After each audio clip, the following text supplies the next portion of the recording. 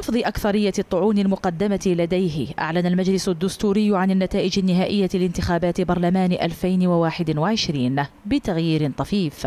إذ خسر حزب جبهة التحرير الوطني سبعة مقاعد وتراجع عدد نوابه إلى 98 فيما أفرزت الطعون ستة مقاعد إضافية للمستقلين الذين ارتفعت حصتهم في البرلمان إلى 84 مقعدا.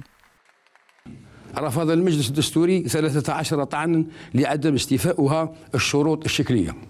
ثانيا في الموضوع درس المجلس الدستوري 348 طعنا في الموضوع وبالنتيجة رفض 300 طعنا لعدم كفاية أدلة الإثبات أو لعدم تأسيس.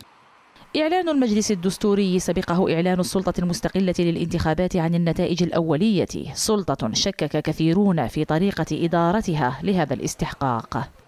التركيبة اللي كانت على مستوى المندوبيات السلطة المستقلة في ولاية الوطن كانت تقريبا معظمها فيها كثير من المتحزبين أو لهم ميولات حزبية وكان بعض منهم كلهم تابعين إلى الإدارة السابقة اللي كانت تدير الانتخابات لأن السلطة لم لم تأتي بجديد فاستندت على كل عمال الإدارة السابقة اللي كانت تابعة لوزارة الداخلية. على كل حال المجلس الدستوري أعلن أنه استلم محاضر الفرز من سلطة الانتخابات يوم السابع عشر من هذا الشهر. سبعة أيام من دراسة الطعون رآها البعض غير كافية ولا منصفة قانونيا.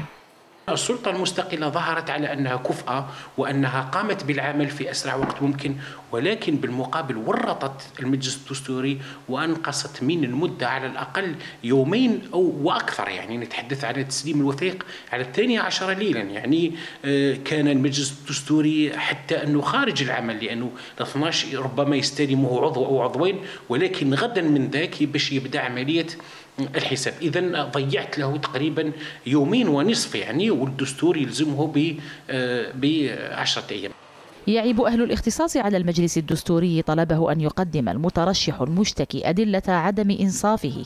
شرط تعجيزي كان مفروضا أن يكون من عمل سلطة الانتخابات المشرفة على العملية يضيف هؤلاء. بإعلان المجلس الدستوري عن النتائج النهائية للانتخابات التشريعية المبكرة يرسم بذلك 407 نواب بشكل رسمي ويضمنون مقاعدهم داخل برلمان يفتح أبوابه للمرة التاسعة في تاريخ البلاد. نهد زروات سكاي نيوز عربية الجزائر.